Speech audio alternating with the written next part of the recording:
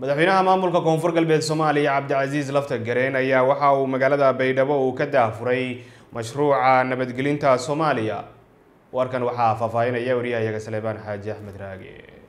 Madaxweynaha dowlad goboleedka koonfur galbeed cabdicasiis lafta gareen ayaa magaalada baydhabo oo ah xarunta kumeel gaarka ee dowlad goboleedka koonfur galbeed maanta waxa uu ka daafuray mashruuca nabadgelyada soomaaliya. Shirkan oo qeybo kala duwan ay ka qaybgalayaan ayaa daafurkiisa waxaa hadal ka jeediyey madaxweynaha koonfur galbeed cabdicasiis lafta gareen hadalkiisa waxa uu kaga hadlay muhiimadda ay leedahay mashruucan nabadgelyada soomaaliya.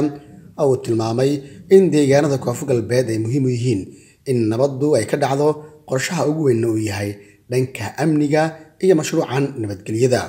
Mashruucan oo ka kooban qaybo kala duwan ayaa waxa uu noqonayaa mid looga shaqeeyo nabadda soomaaliya deegaanada koonfur galbeedna laga soo bilaabo ama bilow ay u noqdaan. Madaxweyne cabdicasiis lafta gareen waxa uu ka hadlay shirkan maanta furmay nabadda soomaaliya nabadda soomaaliya waa muhiim.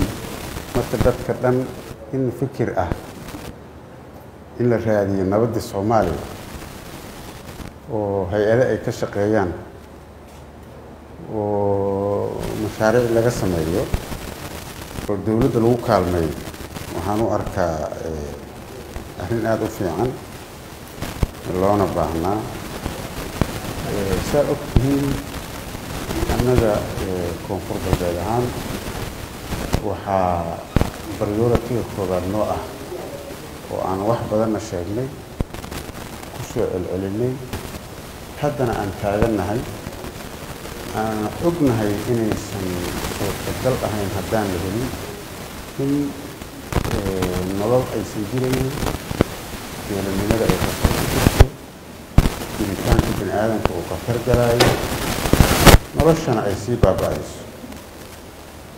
Maxay tahay? Waa amniga amniga waxaa lafdhabar u ah cadaaladda haddaan cadaalad la helin amni lama helayo amni darrada bilowgeeda waxay ka bilaabataa cadaalad darro. Nin amni darro suubinayo cadaalad darruu dareemay meeshaasuu amni darrada ka bilaabanaysa.